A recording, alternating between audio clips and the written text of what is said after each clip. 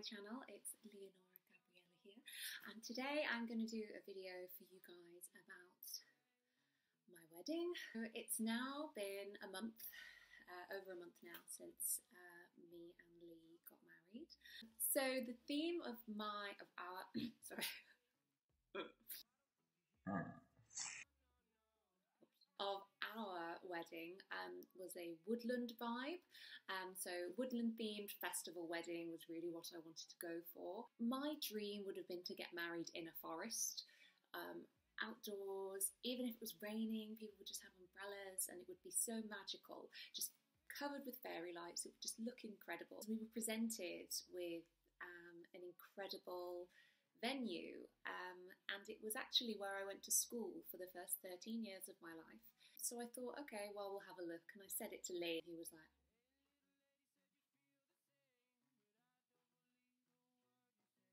school? A school. We, we turned up, and I mean, the first thing he said to me was, if this was my school, I would have actually gone.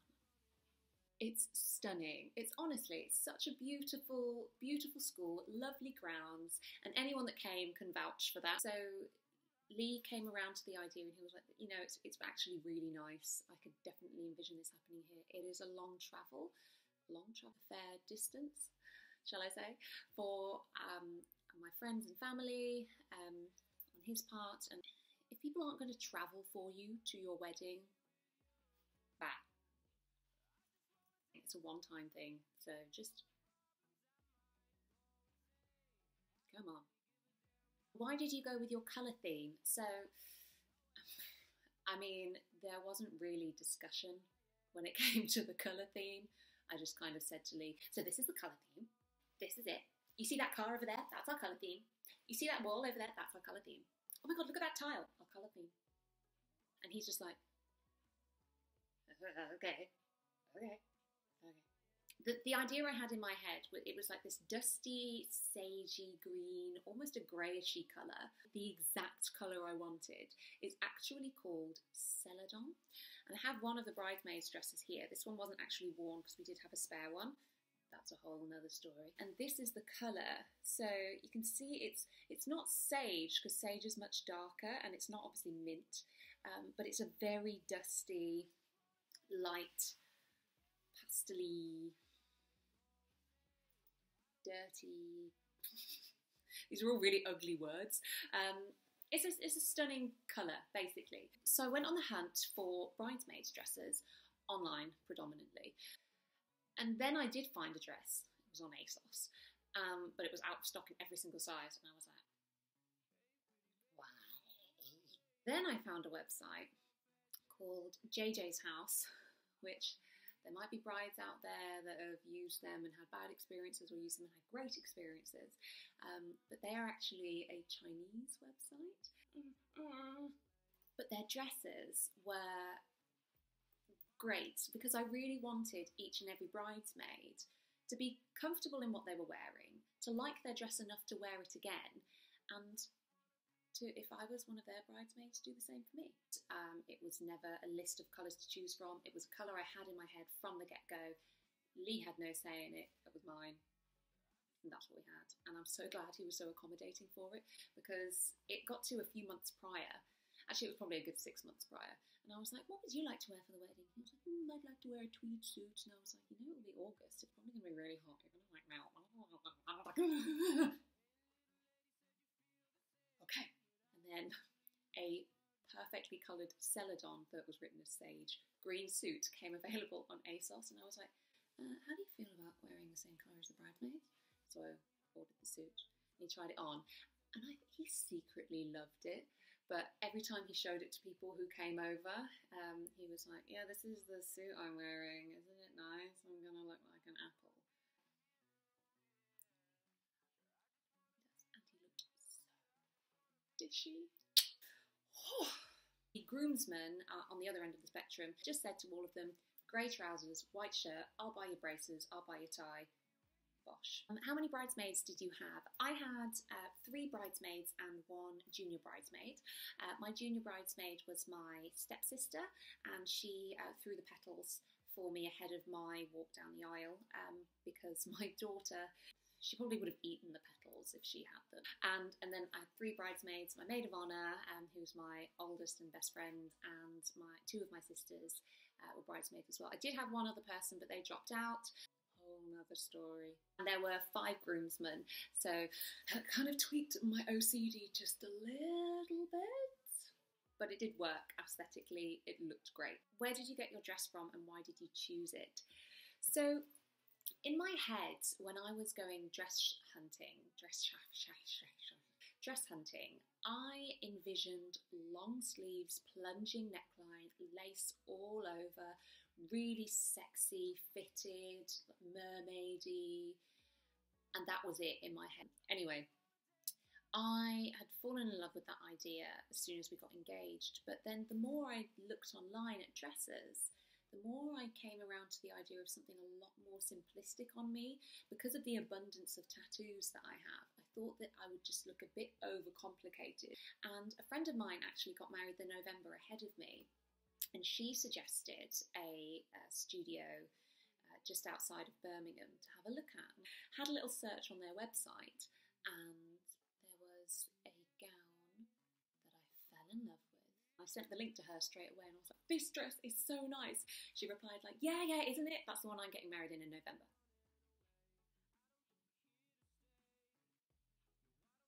I didn't go with that dress. So we're still friends. So I sent my mum the link to that dress and I was like, just find me something like this and then send me the link and we'll go shopping together. She came back almost straight away with this gown from Pronovias. Instantly fell in love with it. And, then when I went, with my mum and my sister, uh, they said, Yes, of course, you'll be trying on that dress, but we want you to try on lots of different styles so that you are 100% set on the idea. I tried on loads of different kinds of dresses, and they were all lovely, but none of them were as nice as the one that I chose, that I opted for. It was instantaneous, fell in love with it straight away, and I think it is true that when you know, you know. Cake and cakes. I wrote that down because a lot of people have asked me if my cake was vegan and who did it. So my cake was done by uh, at row underscore bakes on Instagram. Though on Facebook she's Sugar Sorcery, so I'm not actually sure what your professional name is. But Bakes did my cake, and it was vegan, three tiers.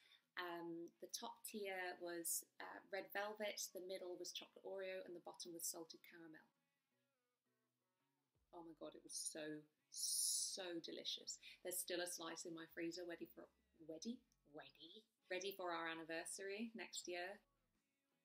And then I had cupcakes and uh, peanut butter cups, Rocky Road pieces, and loads of other little like treaty nibbles supplied by Miss Muffin Top from Brighton. Um, I've been sort of online friends with her for some time, gave us loads of stuff to choose from, and they went literally within minutes. They were so, so good. But she won't give me her recipe, so online friends, we shall stay. How much was your dress? Nosy. Did your groom have any insight to the wedding? Um, so, no. The one piece of insight Lee had to the wedding was we should have a Hessian runner down the aisle so you have something to walk down.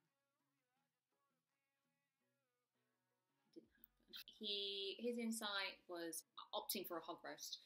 Um, obviously, as someone that really doesn't and is completely opposed to eating meat, um, that was a difficult thing, but it went down really well, and the people who supplied it did vegan and vegetarian options as well, and I just didn't go near it.